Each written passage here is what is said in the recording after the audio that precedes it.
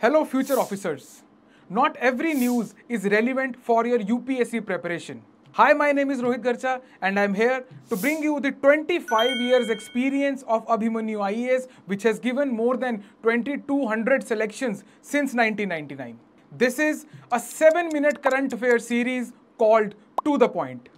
जिद से जीत तक हाय एवरीवन बच्चे आज का जो हमारा टॉपिक है ये है ग्लेशियर रॉक से रिलेटेड एक ऐसी टर्म है, इसको हम ग्लेशियल रॉक्स बोलते हैं, और भी नामों से ये जानी जाती है। और कॉन्टेक्स्ट इसका ये है कि रिसेंटली कश्मीर के अंदर केस स्टडी हुई थी इससे रिलेटेड कि वहाँ पे कुछ कुछ जगहों के ऊपर लैंड के अंदर ना bulges and out forms and out growths देखने को मिली हैं, जिसका मतलब ये है कि इसके नीचे जो परमाफ्रॉस्ट या फिर जो कह सकते हैं जो हमारी ग्लेशियल रॉक्स थी, अभी हम देखते हैं ग्लेशियल रॉक्स क्या चीज़ है, ये मतलब ना एग्जैक्टली रॉक्स है, ना एग्जैक्टली ग्लेशियर्स हैं है ना? इन दोनों का हाइब्रिड टाइप चीज़ होती है इसको ग्लेशियल रॉक्स कहा जाता है, वो देखते हैं अभी हम राइट तो उनकी प्रेजेंस है वहाँ पे राइट उसके बाद में कुछ बल्जी जब देखने को मिली है that mean some melting is happen right melting हो रही है, इसका मतलब कि it is a disaster that is waiting to happen right तो हमारे लिए क्या इंपॉर्टेंट है कि हम इन सारी टर्म्स को थोड़ा थोड़ा कि यूपीएससी प्रीलिम क्या क्या पूछ सकता है इसके ऊपर?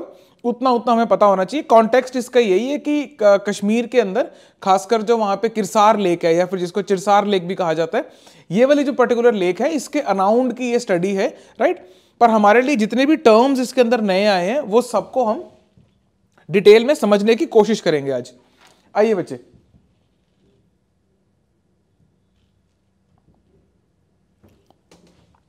So it is called rock glaciers in Kashmir Himalayas क्या है ये कि वो बोल रहे कि Kashmir Himalaya feature numerous permafrost structures known as rock glacier मतलब परमाफ्रॉस्ट का परमाफ्रॉस्ट मतलब perma means permanent frost means जमा हुआ।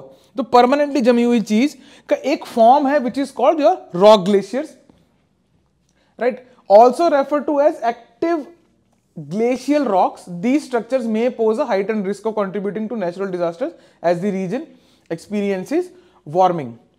Right right? क्योंकि वाटर फ्लोज लेकिन अगर वो आपका जमा हुआ है तो वो एक्यूमुलेट रह सकता है. बट वंस वो एक्यूमुलेशन खत्म हो जाती है right then we can have G L O F which is called glacial lake outburst floods right जो फ्लैश फ्लड्स वगैरह आ जाती है ग्लेशियल लेक आउटबर्स्ट फ्लड्स आ जाती है कि पानी इकट्ठा हो गया और एकदम से निकल गया जो जिस वजह से भी रुका हुआ था वो हट गया वहाँ से. Right right? आगे चलते हैं बच्चे. सो so, क्यों ये स्टडी इंपॉर्टेंट है? वो इस वजह से बच्चे, कि the Jhelum basin alone stores trillion litres of frozen water in active rock glaciers तो अगर ग्लोबल वार्मिंग आता है ग्लोबल वार्मिंग का जो इफ़ेक्ट हम अगर बात करते हैं तो एक इफ़ेक्ट इधर को भी आएगा राइट right? और यूपीएससी आपसे एक्सपेक्ट करेगा कि अगर मान लो मेंस के अंदर कोई समथिंग ग्लोबल वार्मिंग से रिलेटेड कोई भी आता है, या फिर फॉर एग्जांपल डायरेक्टली इसी के ऊपर कुछ आ गया तो आप ये फैक्ट मेंशन करो तो थोड़े से आपको ब्राउनी पॉइंट्स मिलेंगे, क्योंकि अभी एक्टिवली जो स्टडी हो रही है इंडिया के अंदर वो यही है राइट, आइए बच्चे, आगे चलते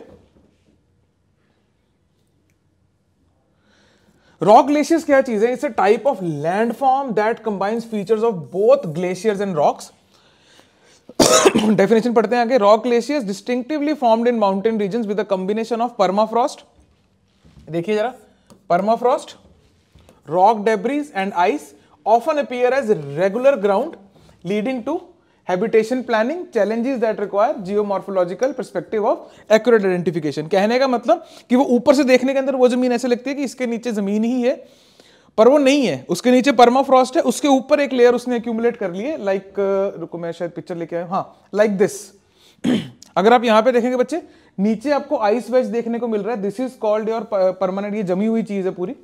इसके ऊपर में ये सब एक्यूमुलेट हो जाता है which is called the active layer और यहाँ पे आप कंस्ट्रक्शन कर लेते हो, अगर आपने प्रॉपर नीचे सर्वेस नहीं किए हुए तो दैट इज़ द प्रॉब्लम और आप इमेजिन कीजिए कि अगर ये लेयर ऊपर रह जाती है, इसको थोड़ा और किलोमीटर्स में इमेजिन कीजिए या और ज़्यादा मीटर्स में इमेजिन कीजिए, अगर ये पिघल जाती है तो ये वाली जो, इसका जो वाटर है, वो नीचे फ्लड्स लेके आएगा प्लस ऊपर वाली जो ज़मीन है, वो केविन हो जाएगी राइट तो आपकी अर्बन प्लानिंग के अंदर भी ये चीज़ को हमने बहुत ज़्यादा ध्यान में रखना होता है राइट कि हम इसको ध्यान में रखें इस सर्विस को ध्यान में रखें राइट हैंस हमारे लिए ये थोड़ा सा इंपॉर्टेंट टॉपिक हो जाता है।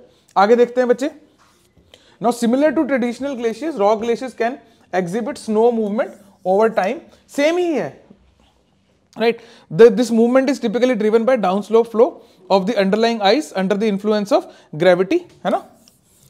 ये सब आपने टर्म्स ना बाय द वे उसमें पढ़े होते हैं आपकी जो ज्योग्राफी की किताब होती है, खासकर एनसीईआरटी के अंदर, जिसके अंदर ये सारे टर्म्स है, सबसे मास मूवमेंट क्या होती है इरोजन क्या होती है वेदरिंग क्या होती है तो इसके बाद में वो वाले टॉपिक्स भी बच्चे आपके एक्टिव हो गए हैं राइट तो जिसमें जितने भी टर्म्स आपके आ रहे हैं, इसको इसीलिए मैं आपको मार्क करके दे रहा हूँ कि ये टर्म्स आपको पता होना चाहिए कि क्या है।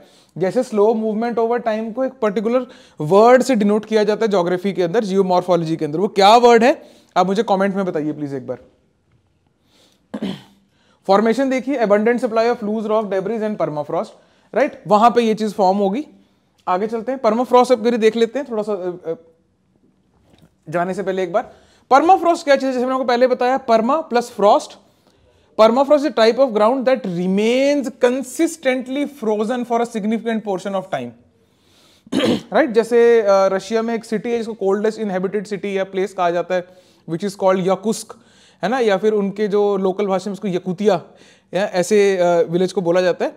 तो आप एक बार सर्च करके देखना आपको समझ में आएगा कि वो पूरी सिटी ही परमाफ्रॉस्ट पे बसी हुई है।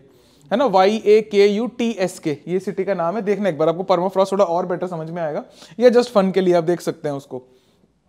It is characterise by soil, rock and sediment that stays at or below freezing point 0 degree Celsius or 32 degree Fahrenheit for extended periods, often for decades or even centuries, centuries which is the case with the city I was telling you और यहाँ पे हमारे कश्मीर के अंदर भी ऐसी जगह आपको देखने को मिलती है and that is all for today thanks for watching the video this seven minute to the point series specially designed for your prelims examination if you wish to cover your current affair holistically for your mains as well as for your interview please check out Abhimanyu I S current affairs master course twenty twenty four it is based on Trishul model You will be getting three things. Number one, weekly classes. Number two, weekly PDFs of current affairs. Number three, weekly tests on current affairs. The link to join the course is given in the description below. Zid se jeet tak. And if you are ziddi enough, subscribe for regular updates. This tailor-made current affairs master course is enough for your preparation of current affairs for UPSC Civil Service Examination 2024.